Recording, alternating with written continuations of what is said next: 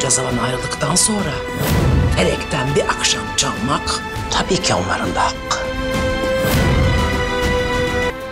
Yaram derin gibi görünüyor. Kapansa da acısı bir süre devam eder. Bu çok derin. Çok acıyor. Acıtmak istemedim. Geçer değil mi?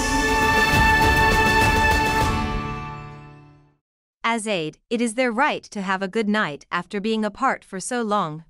Baran, yes for Serap. Price is unimportant. Get flowers and something special for her. Dilan, come to your senses. Hassan, I am ashamed to have a son like you. I was embarrassed. Fire it, enough. As aid, there is no love anyway.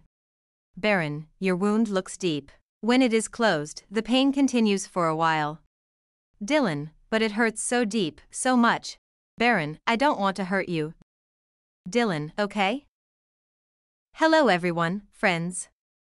I'm here with my new video. First of all, let me state this I was wrong. I thought Baran would invite Dilan to breakfast, but I was wrong.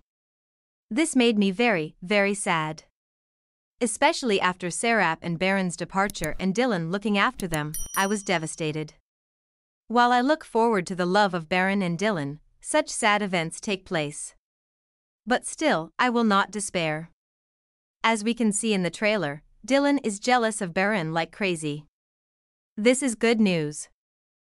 First of all, Dilan has to confess her feelings to herself. We cannot follow this love otherwise.